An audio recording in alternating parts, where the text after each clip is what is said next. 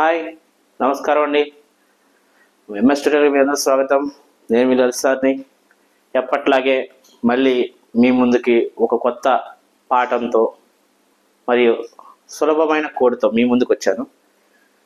వాటిలో భాగంగా ఈరోజు మనం ఇప్పటి వరకు మనం నైన్ లెసన్స్ వరకు చూసేసాం కానీ కవి పరిచయాలు ఇక టెన్త్ లెవెన్త్కి సంబంధించినటువంటి కవి పరిచయాలు మీకు ఈ వీడియోల ద్వారా తెలియజేస్తానండి. ముఖ్యంగా ఈరోజు లెవెన్త్ లెసన్ చాలా ఇంపార్టెంట్ అండి. అది అందరికి పరిచయం అయినటువంటి ఇంకా పరిచయం కావాల్సిన వాళ్ళు కూడా చాలామంది ఉన్నారు. అందరూ తెలుసుకోవాల్సినటువంటి ముఖ్యమైన లెసన్ మనకి లేట్ చేయకుండా ఈ లెసన్లోకి వెళ్ళిపోదాం అండి. నెక్స్ట్ ఇది తెలుగుబాట ఆరు డూడు బసవన్న డూడు బసవన్న ఈ డూడు బసవన్న అనే పాఠంలోకి వెళ్ళిపోయే ముందు ముఖ్యంగా మనం తెలుసుకోవాల్సింది ఏంటంటే అండి ఈ పాట యొక్క నేపథ్యం. ఈ పాట యొక్క నేపథ్యం అనేది చాలా ఇంపార్టెంట్. ఈ ఏమిటంటే ఈ పాట యొక్క నేపథ్యం ఏంటంటే ఇక్కడ ఎంతోమంది డూడు బసవన్నులు అంటే మన పండగలకు వచ్చే గంగిరెద్దులు ఆడించుకునే వాళ్ళు కోలాటాలు ఆడి ఆడించేవాళ్ళు జానపద కళలు ఏవైతే ఉన్నాయో ఆ నృత్యాలు చేసే జానపద కళలు అందరూ తరి అంతరించిపోతున్నారు. భవిష్యత్తులో మనకి ఇంకా ముందు ముందు తరాలకు తెలియకపోవచ్చు. అలాంటి వాళ్ళ యొక్క జీవిత యథార్థ గాథలను తీసుకొని తయారు చేశారండి వీటిని ఈ లెసన్ డూడు బసవాన్ని. మనం ఇక దాని యొక్క నేపథ్యం తెలుసుకున్నాం కదా. ఇప్పుడు దాని యొక్క ప్రక్రియ తెలుసుకుందాం. జీవిత చిత్రం.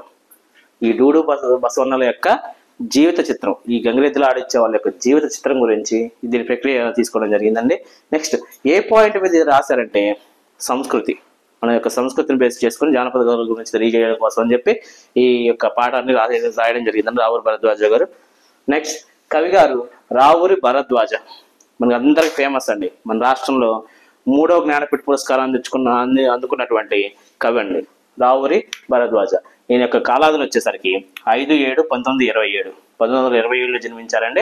ఈయన ఈయనకి జ్ఞానపీఠ పురస్కారం రెండు వేల పన్నెండులో వచ్చిన ఒక సంవత్సరానికి ఈయన చనిపోయారండి. జ్ఞానపీఠ పురస్కారం అందుకున్నటువంటి ఒక సంవత్సరానికి ఈయన చనిపోవడం రెండు వేల పదమూడులో చనిపోయారండి. నెక్స్ట్ ఈ రావురి భరద్వాజ్ గారు రాసిన కొన్ని రచనలు చూడండి. విమల ఈయన రాసినటువంటి తొలి కథ. అది కూడా ఆయన చిన్నప్పుడే రాశారు. తొలి కథ అండి. విమల అనేది ఆయన రాసిన తొలి కథ. రెండు అపరిచితులు. రెండు అపరిచితులు. ఇది కథా సంపుటి. ఇది కథా సంపుటి. నెక్స్ట్ కీలుగుర్రం. కథ. కరిమిరింగిన వెలగపండు. నవల. జీవన సమరం. ఇది ఒకటి ఇంపార్టెంట్ గుర్తుపెట్టుకోండి ఇది. ఐదవది. జీవన సమరం. వేదార్థ జీవుల యథార్థ గాథలు అనే పుస్తకం లాగా దీన్ని రచించారండి. దీని యొక్క మెయిన్ థీమ్ వచ్చేసరికి వేదార్థ జీవుల యథార్థ గాథలు. ఈ బిట్ కూడా అడిగిన అవకాశం ఉంటుందండి. వేదార్థ జీవుల యథార్థ గాథలు అనే పుస్తకాన్ని ఏ పేరుతో రాశారు? జీవన సమరం అనే పేరుతో రాశారు. ఎవరు రాశారు? రావూరి భరద్వాజ గారు. నెక్స్ట్ కథాసాగరం ఆరోది ఇది కూడా కథా సంపుటి కథా సంపుటి అండి. కథా సంపుటి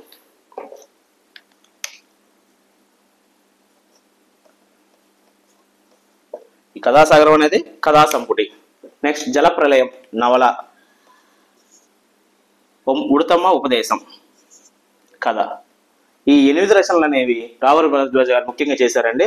వీటిలో విమల తొలి కథ అపరిచితుల కథా సంపుటి కీలుగుర్రం కథ కరిమిలింగిన వెలగపడిన నవల జీవుల సవరం యథార్థ జీవుల యథార్థ గాథలు.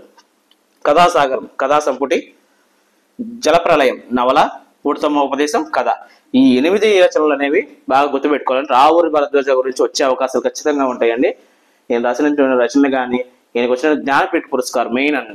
ఈయన మూడో వాడు కాబట్టి ఈయన గురించి అడిగే అవకాశాలు ఉంటాయండి. నెక్స్ట్ ఇక్కడ చూడండి. ఇక ఈ పాఠాలకు సంబంధించినటువంటి ఈ రచనలను సులువుగా గుర్తుపెట్టుకోవాలి. నేను ఈ కోడ్ని ఈ పాఠం యొక్క థీమ్తో ముడిపెట్టానండి. ఈ కోడ్ని ఈ పాఠం యొక్క థీమ్ అయితే ఏదైతే ఉందో అదే మన కోడ్. నేపథ్యమే మన కోడ్. మన కోడే ఈ పాటల నేపథ్యం. రెండింటిని కలిపి కలిపి చేశానండి ఒకసారి ఒకసారి ఇక్కడ చూడండి. విమల విమల అనే రచన తీసుకున్నాను. తన కథలో రా ఊరి అంటే నేను కవి గారిని పేరు కూడా మెన్షన్ చేశాను ఊరిలో జరిగే పండక్కి వచ్చిన పండక్కి వచ్చిన విమల తన కథలో రా ఊరిలో జరిగే పండక్కి వచ్చిన అపరిచితులు. అపరిచితులు అంటే పరిచయం లేనివారు. ఎవరంటే అండి ఆ అపరిచితులు ఎవరెవరు అంటే డూడు బసవన్నలు కీలు గుర్రాలు కరి అంటే ఏనుగులు.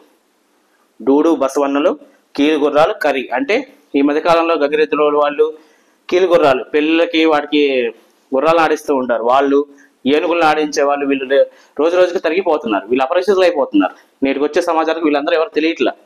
పరిచయం అనేది లేకుండా పోతుంది వీళ్ళ గురించి. అందుకని అపరిచితులైనటువంటి ఈ డూడు బసవన్నలు కీలు గుర్ర కీలు గుర్రాలు కరి అంటే ఏనుగులు ఆడించేవాళ్ళు. ఈ ఆడించే వాళ్ళ యొక్క జీవన సమరంలో వాళ్ళ బతుకు యొక్క తిరుగులో తిరుగులోని కన్నీటి సాగర ఇక నేను కథాసాగరాన్ని కథాసాగరాన్ని కన్నీటి సాగరంగా తీసుకున్నానండి. కన్నీటి సాగరంలోని ప్రళయం గురించి వాళ్ళు పడుతున్నటువంటి వేదన అవి ఎలా అతలాకుతలం చేస్తున్నాయి? ఆ ప్రళయం గురించి ఉడుతమ్మ ఉపదేశం ద్వారా ఎవరి ద్వారా అండి? ఉడుతమ్మ ఉపదేశం ద్వారా చెప్పించిందంటండి. ఇక్కడ మళ్ళీ కోడ్ ఒకసారి చూడండి. విమల తన కథలో రావూరులో జరిగే పండక్కి వచ్చిన అపరిచితులైనటువంటి ఈ కీలుగుర్రము ఈ కరి నెక్స్ట్ డూడు బసవన్న మన లెసన్ పేరు. డూడు బసవన్న కీలుగుర్రం కరి ఈ ముగ్గురు ఈ ముగ్గురిని ఆడించే వాళ్ళ యొక్క జీవన సమరంలోని వాళ్ళ యొక్క జీవిత సమరంలోని కన్నీటి సాగరం నేను కథాసాగరాన్ని కాస్త కన్నీటి సాగరంగా తీసుకున్నానండి.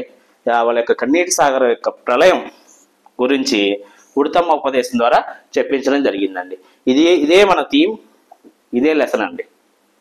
లెసన్ థీమ్ నేను కోడ్గా తయారు చేసి చెప్పానండి. బాగా గుర్తుపెట్టుకోండి. విమల తన కథలో అప విమల తన కథలో పండక్కి వచ్చిన రావూరి గ్రామంలో జరిగే పండక్కి వచ్చినటువంటి అపరిచితులైనటువంటి గూడు బసవన్నలని కీలు గుర్రాలని కరి అంటే ఏనుగుల్ని వాడించే వాళ్ళ యొక్క జీవన సమరంలోని కన్నీటి సాగరాన్ని కన్నీటి సాగరం యొక్క ప్రళయం గురించి ఉడతమ్మ ఉపదేశం ద్వారా. ఎవరి చేతండి ఉడతమ్మ ఉపదేశం ద్వారా చెప్పించింది. అనేది నేను చేసిన కూడా అండి చాలా సులువుగా గుర్తుపెట్టుకోవచ్చు. సంఘటన మనం గుర్తుపెట్టుకుంటే ఆయనకి ఆయనకి సంబంధించినటువంటి ఏ రచన పేరు ఇచ్చి కింద ఎవరు రాసి రచించారంటే ఈజీగా గుర్తుపెట్టేయచ్చు. అలానే ఆ, రావూరు భరద్వాజ్ గారు రచన రచన రచన ఏంటి? కింది వాటిలో అంటే మన ఈ కోడ్ ఉంటే ఈజీగా గుర్తుపెట్టచ్చు. లేకపోతే ఇక్కడ ఈ ఇతను రాసినటువంటి ఇవన్నీ కథలు మనం చదవలేదు. వాటి నేపథ్యాలు తెలియదు ఏమీ తెలియకుండా ఎలా గుర్తుపెట్టుకుంటాం? ఈ కోడ్ ద్వారా అయితే ఈజీగా గుర్తుపెట్టుకోవచ్చు. అండ్ మీకు చెప్పాల్సిన మరొక ఇంపార్టెంట్ పాయింట్ ఏంటంటే పాకుడు రాళ్ళు. ఇది మన ఆంధ్ర మొత్తం ఫేమస్ అండి. ఎందుకంటే మనకు వచ్చిందే మూడు జ్ఞానపేట పురస్కారాలు అండి విశ్వనాథ సత్యనారాయణ గురించి కథ మనం ధర్మనిర్ణయం అనే పాఠంలో చెప్పుకున్నాం కదండి? ఆయనకు వచ్చింది రెండవది సి నారాయణ రెడ్డి విశ్వంబరకు వచ్చిందని. ఇక మూడవ అతను అండి మన తెలుగు భాషలో తీసుకున్న మూడో అతను ఆ పుస్తకం పేరు పాకుడు రాళ్ళు అనే నవలకి జ్ఞానపీఠ పురస్కారం లభించిందండి. ఇది ఇంపార్టెంట్ అండి. ఇది నేను కోడ్లో ఇన్క్లూడ్ చేయలేదు. ఎందుకంటే ఇది అందరికి తెలిసిందే గుర్తు పెట్టుకోవాల్సిందే. మనం ఈ వీటికి కూడా కోడ్లు కావాలంటే ఎందుకంటే ఇక మనం ఎక్స్పెక్ట్ చేయకూడదు. ఎందుకంటే ఇలాంటి అరుదైనటువంటి రచనలను మనం గుర్తుపెట్టుకొని తీరాల్సిందే అండి. ఎంతో మనకి పేరు ప్రతి ప్రతిష్టలు తీసుకొచ్చినటువంటి రచన ఇది. పాకుడు రాళ్ళు ఈజీగా గుర్తుపెట్టుకోవాల్సినటువంటి అంశం. చూసారు కానీ ఈరోజు? పదకొండవ లెసన్ ఆరో తరగతిలో మీ డూడు బసవన్న గురించి కవిపరిచయం దాని యొక్క సులువైన కోడ్ గురించి చూసాం కదా. నెక్స్ట్ మనం నెక్స్ట్ క్లాస్లో పన్నెండు మనకి పదో లెసన్ అయినటువంటి కవయిత్రి ముళ్ళ గురించి తెలుసుకుందామండి. ఓకేనండి